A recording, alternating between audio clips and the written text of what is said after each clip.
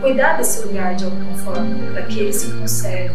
Porque a gente percebe que a mesma água e o sangue que correm nas nossas veias correm todos os rios e se misturam pelas nossas histórias e pelas águas cristalinas desse lugar. Então que sejamos nós, né, a proteger esse lugar.